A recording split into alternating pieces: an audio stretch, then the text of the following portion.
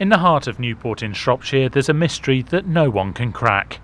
When Richard Ely bought this property three years ago, it came with an unusual added extra.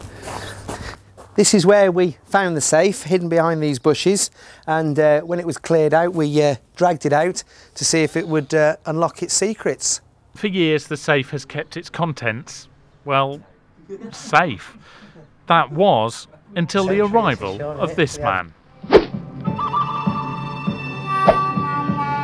For 35 years, Alan Cowap, who lives in Newport, worked as a safe designer.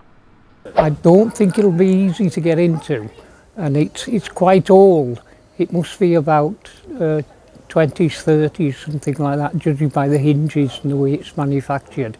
So, just how, I hear you ask, are they going to break into this safe? Are they going to be using skill, experience, or intelligence?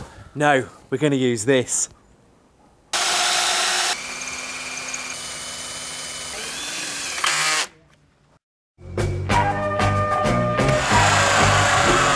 Guys, do you mind turning that off? It really isn't helping.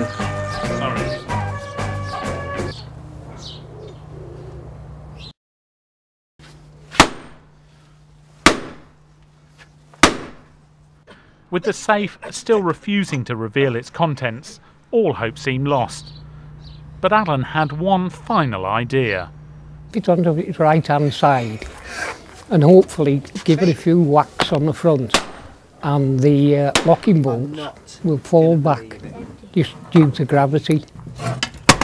I really had high hopes. I thought there was going to be something of great value or, or, or intrigue inside. And the fact that it's empty, I, I'm just devastated now. It might not have been the result everyone was hoping for, but at least the mystery of this safe has finally been solved.